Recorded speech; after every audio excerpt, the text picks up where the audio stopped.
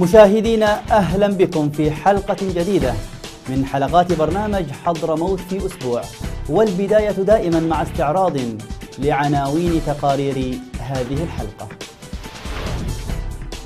طلاب وطالبات الثانويات بحضرموت يخوضون غمار امتحانات الشهادة العامة. جهود مستمرة لصيانة وتأهيل المنشآت النفطية في حضرموت وإعادة الإنتاج. مركز الملك سلمان للإغاثة والأعمال الإنسانية يطلق مشروعا لمكافحة حمى الضنك في المحافظات المتضررة.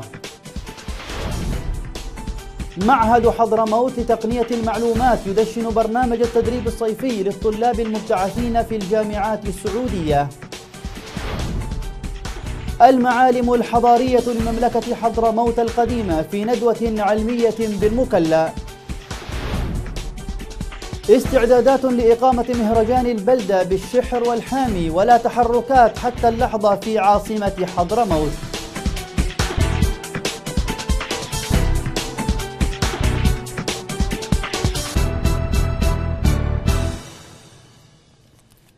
طلاب وطالبات الثانويات العامة بمختلف مديريات حضرموت خاضوا مطلع هذا الأسبوع امتحانات نيل الشهادة العامة في أجواء مستقرة وآمنة نتابع.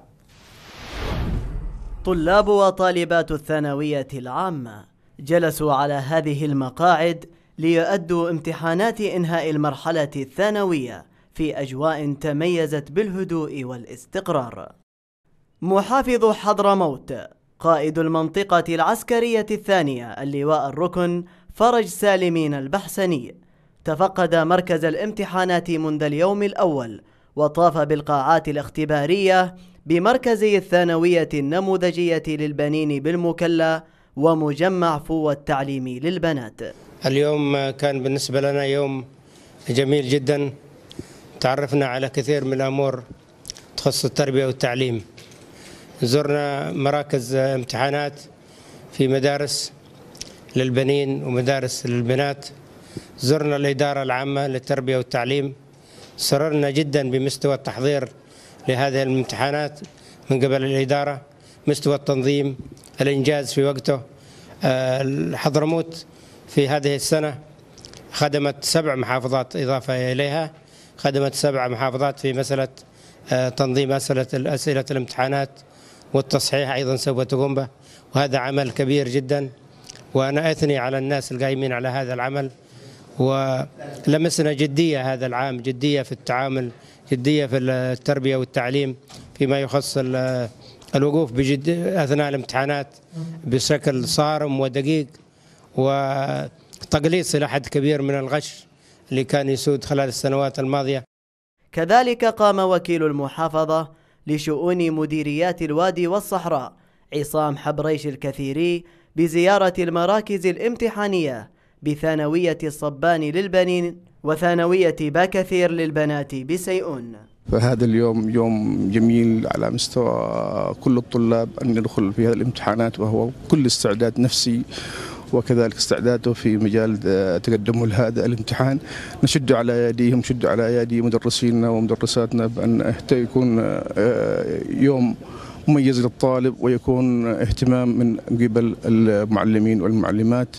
الاهتمام بهم ولا سيما وهم يدخلون في مرحلة أخيرة من التعليم العام وهو النيل الشهادة الثانوية العام. شكرا للطالب على اهتمامه وشكرا على المعلم والمعلم الذي أدى أو وصل الطالب والطالبة في هذا اليوم. نتمنى لهم التوفيق والنجاح إن شاء الله. ستة آلاف وسبعمائة طالب وطالبة في ساحل حضرموت.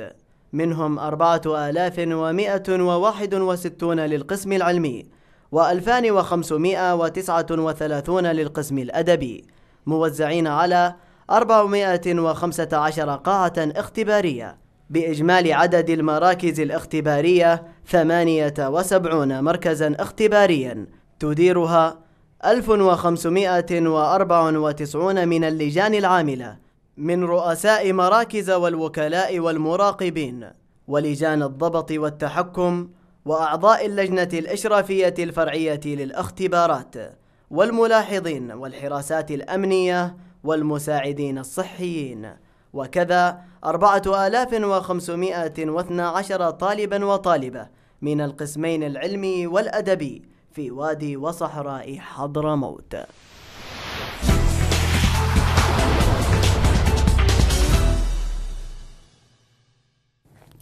وزارة النفط وشركة بترو مسيلة تواصلان جهودهما من أجل إعادة الإنتاج وصيانة وتأهيل المنشآت النفطية التي تضررت جراء الحرب والأزمة التي شهدتها البلاد. المزيد في سياق هذا التقرير.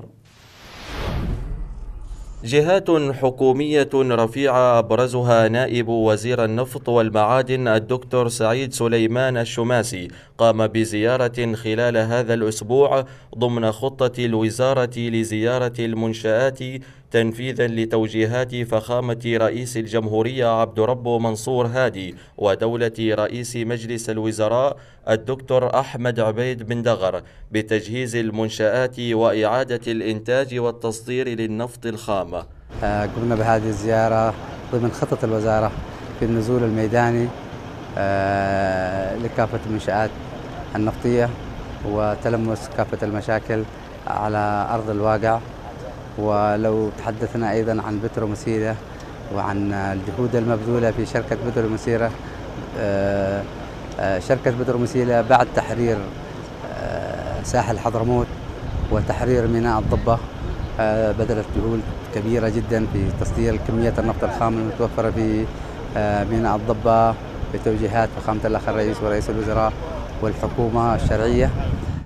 مواقع التفريغ في القطاع 51 لشركة كالفالي بحضرموت و ام في بشبوة. أصبحت جاهزة من كافة النواحي الفنية ومن المتوقع نقل النفط المنتج منها إلى شركة بترو مسيلة لتصديرها عبر ميناء الضبة. ولم تبقى فقط إلا الإجراءات الأمنية الخاصة بنقل النفط من القطاعات إلى موقع التفريغ والعمل جار على التنسيق ما بين وزارة النفط والمعادن وقيادتي المنطقتين العسكريتين في حضرموت. على ما قمنا به من زيارة وعلى ضوء زيارات سابقة. وجدنا المنشأة جاهزة وجاهزين لعملية النقل. والشركة الآن في صدد إعداد ميزانية وإعداد خطة عمل بإذن الله خلال الشهر القادم ستقر. وخلال الأيام القادمة سنبدأ بعملية التنفيذ. وخلال الأشهر القادمة آه، سيكون هناك ترتيب العمليات الأمور الأمنية فقط هي اللي كانت تنقص عملية التنسيق الأمني. هي كانت أكبر المعوقات التي لكن بإذن الله بجهود الخيرين والحماية الأمنية المتوفرة ما بين المنطقة الأولى والمنطقة الثانية سيتم الترتيب آه، لعملية النقل آه، النفط الخام وستكون انطلاقة آه، كبداية وبإذن الله أن الأمور ستنفرج وتكون على خير للجميع إن شاء الله. قوات حماية الشركات بقيادة العميد أحمد المعاري. كان لها الفضل في كل الإنجازات التي تحققت فقدرتها على فرض الأمن وتوفير الحماية اللازمة للمنشآت النفطية. بدأ واضحا رغم النقص الموجود حاليا في عدد الجنود والمعدات المطلوبة لتنفيذ مهامها في كافة القطاعات.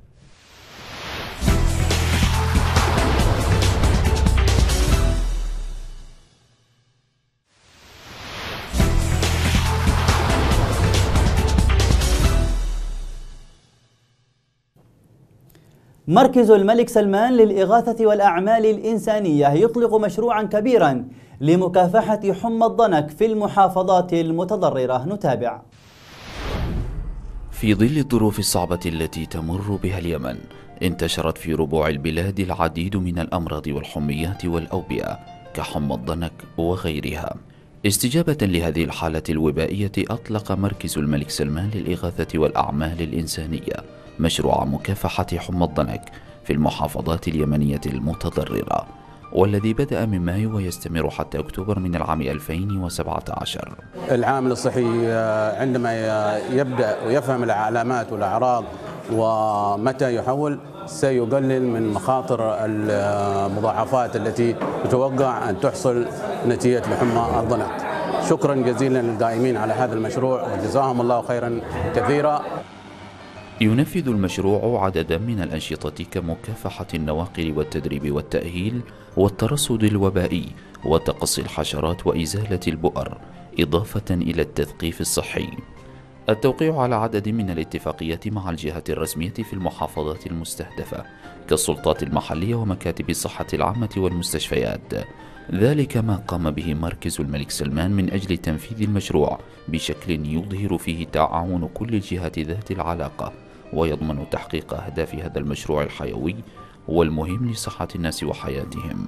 حضرنا هذه الورشة وتداولنا يعني أهمية واحتياجنا الفعلي لدليل تدريبي لحمى الضنك لعلاج وترصد وتشخيص حالات حمى الضنك. وفعلا يعني تطرقنا إلى الزوايا المختلفة مع خبرات آه، يعني ما شاء الله عليهم من مختلف المجالات ترصد وتشخيص علاج حالات المختلفة الحادة والشديدة. وإن شاء الله نخرج فعلا ب يعني توصياتنا إن شاء الله قوية وفعلا نخرج ونقدر نبدأ في عمل هذا الدليل. اجتماعات تحضيرية تمت في كل المحافظات المستهدفة وعقد مؤتمر صحفي لوسائل الإعلام المختلفة من أجل تعريفهم بالمشروع إلى جانب ورشة عمل لمناقشة المنهج التدريبي للمعالجة والترصد لحمى الضنك باللغة العربية. ذلك ما بدأ المشروع في تنفيذه في خطواته الأولى. آه، الهدف هو اللقاء بالفرق الثابتة اللي ترصد الحالات في المديريات طبعا المستهدفة وكل فريق طبعا معروف إنه يتكون من من ترصد وحشري ومخبري. آه، إحنا نهدف هنا إنه يكون في لقاء طبعا متواصل مع هذه الفرق اللي هي تشتغل في الميدان تمام؟ آه نعرف منها إيش الظروف اللي تواجهها في الميدان وإيش المشاكل طبعا اللي تواجهها وبنفس الوقت نعطيها التوصيات و آه يعني كيفية ضبط البيانات بالطرق اللي نحن نريدها. عدد كبير من الأطباء من مختلف المحافظات اليمنية شاركوا في تلك البدايات ليخرجوا بتوصيات ودليل تدريبي للعاملين بالمجال الصحي وتنظيم ورش عمل أخرى للفرق الثابتة في المديريات المستهدفة لغرض توضيح آلية الترصد الوبائي ونقل العينات والبيانات بالطرق العلمية الصحيحة. لا زال مشروع مكافحة حمى الضنك في بدايته وهو مستمر ولديه العديد من المناشط والحملات في الأيام القليلة القادمة.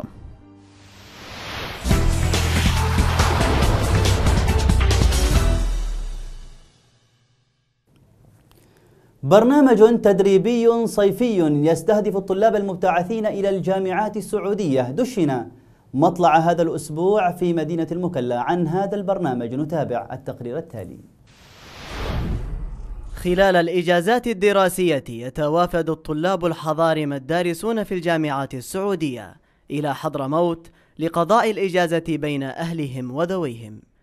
استغلالا لمثل هذه الإجازات وحتى يستفيد الطلاب نظم برنامج للتدريب الصيفي لهم من قبل مؤسسة حضرموت للتنمية البشرية في مجال تقنية المعلومات وإدارة الأنظمة والشبكات بمعهد حضرموت لتقنية المعلومات بتمويل من الشيخ المهندس عبد الله أحمد بقشان هذا المعهد ال HIIT أو معهد حضرموت لتقنية المعلومات آه، يؤدي رسالة آه، كبيرة جدا في مجال تأهيل الطلاب في كثير من المهارات.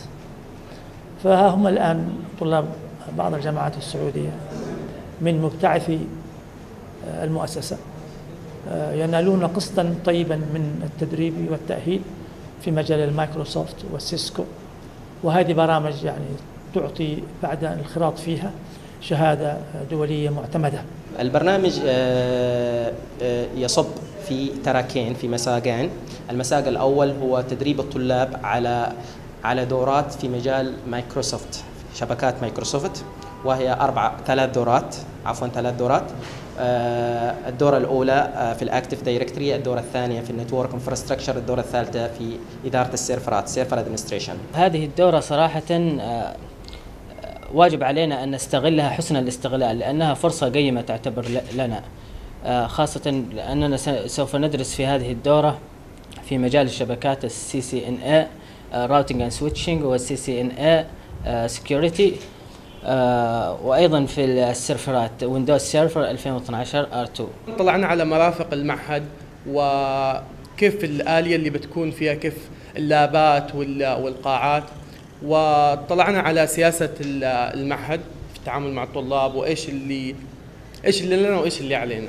الصراحة فرصة ذهبية وما بتتكرر وما أحد يعني مش متصورين إنه بيكون المعهد بهذه الجاهزية. العاليه للتدريب وهذه اللابات يعني مجهز من وإلى بكافة الدورات ودورات جميلة جدا ومعتمدة دوليا في الام سي اس اي والسي سي ان اي من شركات عالمية جدا. البرنامج التدريبي سيستمر لمدة شهرين. سيتلقى خلاله الطلاب دورات في مجال الشبكات وأمنها وإدارة الأنظمة. وسيخضعون لدورات مكثفة في برنامج Microsoft و Cisco مما يؤهلهم للحصول على شهادة دولية معتمدة.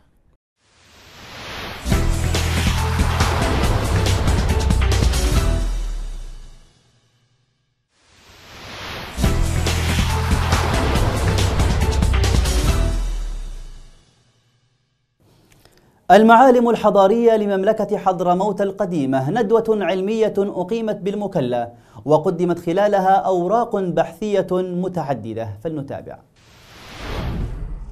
المعالم التاريخية لمملكة حضرموت القديمة كانت حاضرة في ندوة علمية أقامها مركز حضرموت للدراسات التاريخية والتوثيق والنشر. طبعا هذه الندوة تحتل مكانة خاصة جدا لأن لأول مرة في ندوة في حضرموت وفي المكلا تتحدث عن التاريخ القديم لحضرموت. وطبعا هذه المشاركة طبعا في هذه الندوة من جامعة عدن ومن جامعة حضرموت ومن أيضا بعض المراكز البحثية في وادي حضرموت وبعض الشباب الباحث الواعد من طلبة من حملة الماجستير. الندوة أيضا هي أيضا تخصصية ليس فقط مملكة حضرموت القديمة ولكن أخذت ملمح معين وهو الجانب الحضاري على اعتبار أنه إن شاء الله في المستقبل وفي إطار أيضا الاهتمام بالتاريخ القديم يمكن أن نتحدث عن الجوانب فقط الاقتصادية أو الجوانب مثلا الحربية أو فقط الجوانب المعمارية أو المدن. أوراق متنوعة قدمت خلال الفعالية من قبل باحثين ومديرين لمراكز بحثية ومتخصصين في التراث والآثار والمتاحف والمخطوطات وأساتذة جامعيين في التاريخ. أنا أعتقد هذا المركز بيقدم آه، نموذج جيد آه، يحتذى به في دراسة وتوثيق آه، التاريخ السياسي والثقافي والديني. وممكن تنبع منه أشياء كثيرة. هذه المناسبات أنا أفتكر جيدة في أنها تحفز الباحثين خاصة من جيل الشباب أنهم يعني آه، يتابعوا ويواصلوا في دراسة التاريخ القديم بأشكاله المختلفة آه، مشارك بورقة بعنوان المدن آه، والأماكن الحضرمية في نقشي إرياني 31 32 آه القرن الثالث الميلادي القرن الرابع الميلادي. في هذه الورقة استعرضت آه عدد من المدن والمستوطنات والمواقع الموجودة في وادي حضرموت والتي ذكرت في هذين النقشين آه وهما نقشي إرياني آه 31 وكذلك 32 فعاليات تصب في خدمة حضرموت والحفاظ على تاريخها وتقديمه بصورة تليق بها. مكانة وأرضا وإنسانا وتسلط الضوء على الجوانب الحضارية لحضرموت وتشجع البحث التاريخي في مختلف المجالات.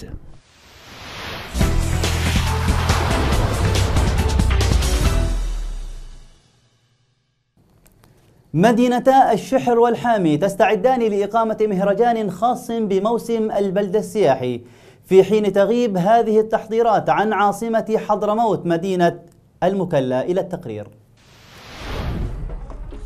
موسم مهرجان البلدة التي تتميز به حضرموت دون غيرها يطل هذا العام وحضرموت قد تحقق لها قدر كبير من الاستقرار والطمأنينة.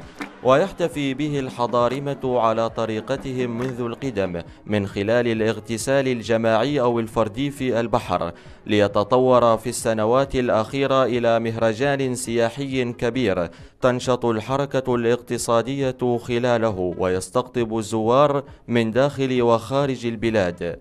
وفي العام المنصرم وعقب تحرير مدينة المكلا ومختلف مدن الساحل الحضرمي أقيمت فعاليات متعددة تزامنا مع هذا الموسم في مدينة المكلا برعاية السلطة المحلية في المحافظة للتأكيد على تعافي حضرموت من آثار الحرب وسيطرة الجماعات المسلحة. حتى اللحظة لا تحركات ملموسة من قبل السلطة المحلية في مدينة المكلا لإقامة المهرجان كما هو الحال في العام المنصرم والأعوام التي سبقت الحرب والأزمة التي شهدتها البلاد غير أن هناك استعدادات تجري هذه الأيام في مدينتي الشحر والحامي فهل سنرى تحركا عاجلا في عاصمة حضرموت؟